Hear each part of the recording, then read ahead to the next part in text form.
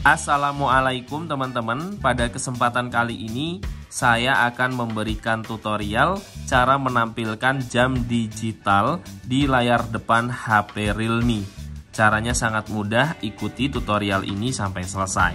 Baik teman-teman langsung aja kita mulai tutorialnya. Pertama-tama siapkan dulu ruang yang akan digunakan untuk jam digital dan kalian juga perlu menyusun yang rapi ikon-ikon dari aplikasi di layar HP kalian. Kalian bisa klik ikonnya dan kalian bisa susun aja ya. Kalian rapikan seperti ini.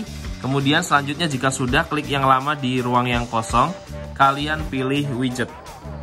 Setelah itu, kalian tinggal cari aja widget untuk jam digital.